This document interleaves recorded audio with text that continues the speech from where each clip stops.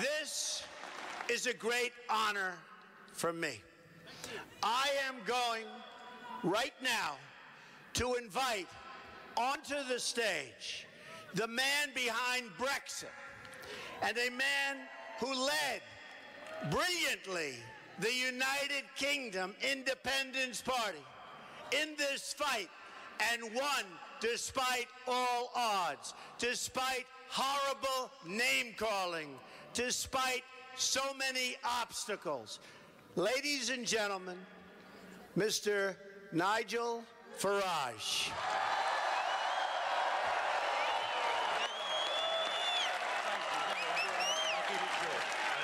Thank you very much. Well, thank you, and good evening, Mississippi.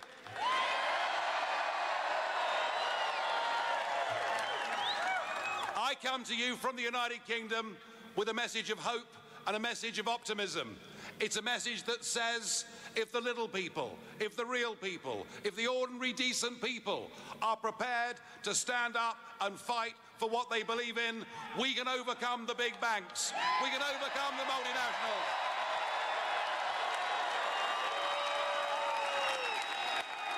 And we did it. We made, we made June the 23rd our Independence Day when we smashed the establishment. And we did it. Everybody said we'd lose.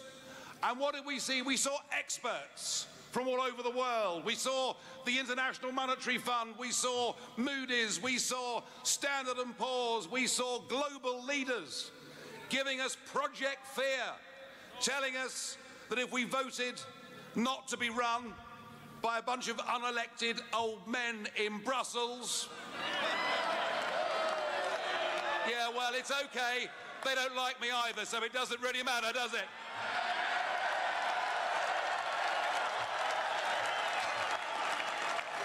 But they told us our economy would fall off a cliff. They told us there'd be mass unemployment. They told us investment would leave our country. And David Cameron, then our Prime Minister, but no longer, told us we might even get World War III. And we saw the commentariat and we saw the polling industry doing everything they could to demoralize our campaign. On the day of the vote itself, that morning, they put us 10 points behind. And actually, they were all wrong. And they were wrong because what the Brexit campaign did is we reached those people who've been let down by modern global corporatism. We reached those people.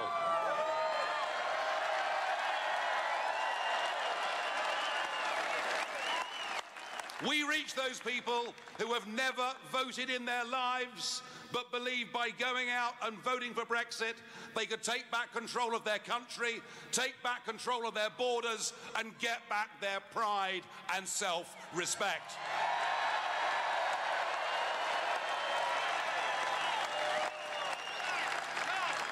Now, the big card, the big card the Prime Minister decided to play in the referendum is he got a foreign visitor to come to London to talk to us.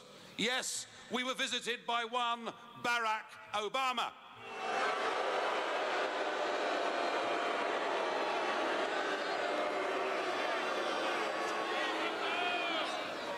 And he talked down to us. He treated us as if we were nothing. One of the oldest functioning democracies in the world. And here he was telling us to vote Remain.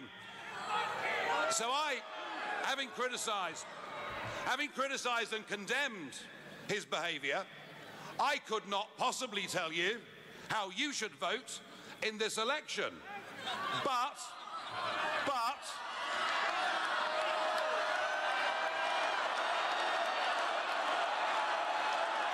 you know, I get it, I get it, I get it, I get it, I'm hearing you. Uh, but I will say this if I was an American citizen, I wouldn't vote for Hillary Clinton if you paid me.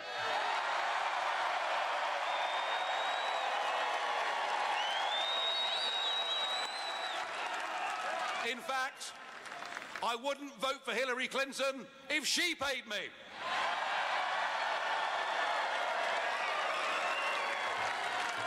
Folks, the message is clear. The parallels are there. There are millions of ordinary Americans who've been let down, who've had a bad time, who feel the political class in Washington are detached from them, who feel so many of their representatives are politically correct parts of that liberal media elite. They feel people aren't standing up for them, and they've actually, in many cases, given up on the whole electoral process. And I think, I think that you have a fantastic opportunity here with this campaign. You can go out. You can beat the pollsters. You can beat the commentators. You can beat Washington.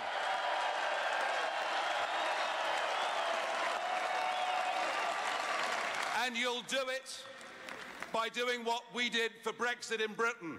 We had our own People's Army of ordinary citizens who went out and delivered leaflets, who went to meet people where they worked and where they socialized, who convinced and inspired people to go out, if this was the one and only time in their life, and to vote for change. So, my advice to you if you want change in this country, you better get your walking boots on. You better get out there campaigning. And remember, and remember, anything is possible if enough decent people are prepared to stand up against the establishment. Thank you very much indeed.